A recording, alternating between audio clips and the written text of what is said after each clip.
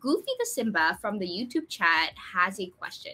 Please teach me how to do the tap to change eyelashes and makeup. Tap to change eyelashes and makeup. Mm-hmm. All right. I think Let's... we can use interactions. Oh, August, did you have a project that you wanted to show off?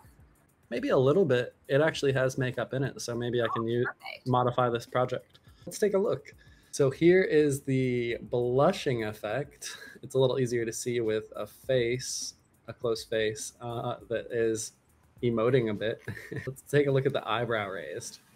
You can see when she raises her eyebrows, the blush fades in and then it fades out. You know, when I was working on this, I, I noticed there's no way to check if the eyebrows are actually raised. You can check if they're wiggled. So I made this little subgraph. And if anybody else think finds this useful, I can share it afterwards. But it's basically using face avatar result to check if the brows are up by a certain amount. This is a fudge value, it's usually called in the technical world, where you're just like choosing a value. You're just like, okay, I think 0.2 is the best value for this. So you can kind of adjust those. But this is a way to check this if the eyebrow is raised, even though there's not really uh, the facial movement node doesn't have it so yeah, if you if you find this useful, I'll share this later.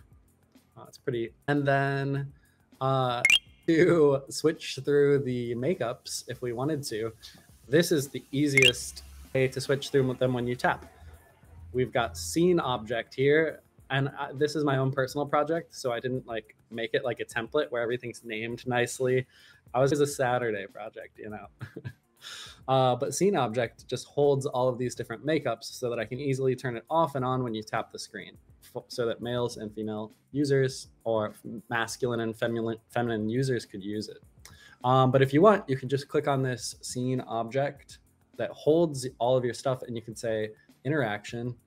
Let's see. Uh, cycle children visibility on tap might be what you want.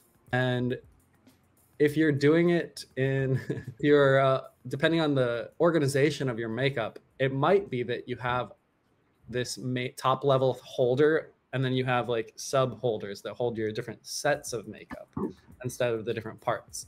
And then it'll turn off and on each set of makeup rather than each piece of one makeup one makeup set. So then this is all it looks like once you add that interaction. And if you want to learn more you can always uh, tap into these subgraphs that are automatically generated by this plus add interaction button. And you can see that it's taking this scene object and it's got these uh, cycle through mode things and it's taking the touch input. This is probably just the touch node. Yeah, tucked into a subgraph uh, for reasons.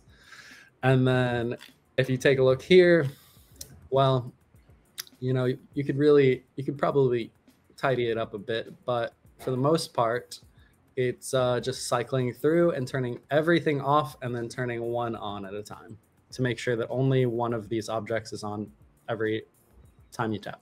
So that could be very useful because you don't have to you don't have to understand any of this. You don't ever have to look in here. You can just click that add interaction and find the tap cycle tap to cycle children visibility and this does everything for you. That is perfect. Thank you.